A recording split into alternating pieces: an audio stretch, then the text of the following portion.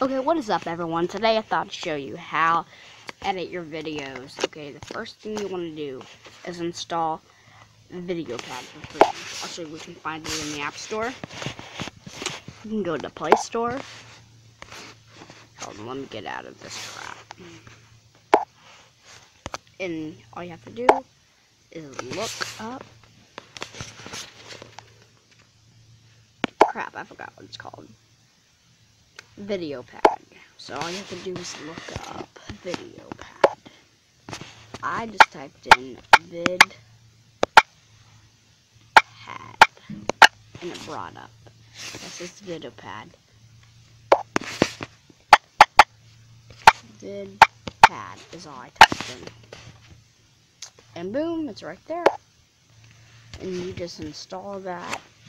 And then once you're done, you can just go to VideoPad for free, which is I already um did this one.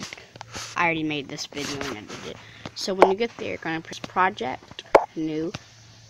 You're gonna select Yes, but yours will not say Unlimited 10. Your guys will say Unlimited 1, Untitled 1.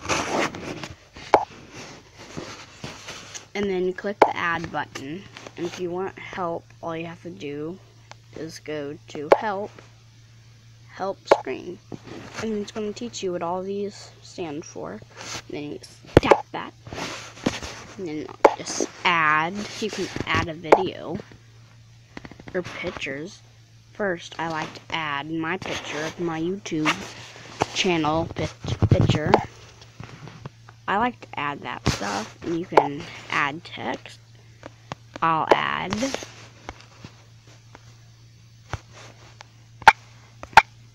hey. Hey guys. I'll add that and stuff so I hope you enjoyed this video and I hope it helped you out, out a lot. Goodbye and hope this helped you